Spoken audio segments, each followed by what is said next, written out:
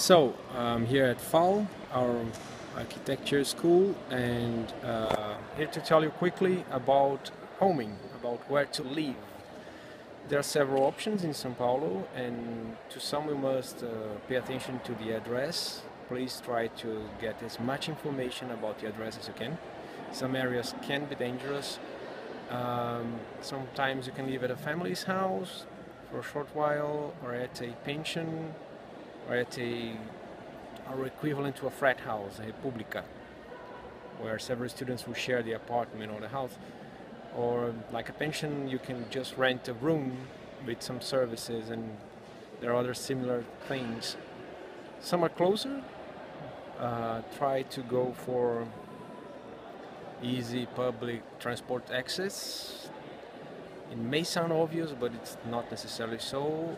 And be, be wise for dangerous neighborhoods. That could be important. Ask local people about it. So welcome and see you next time.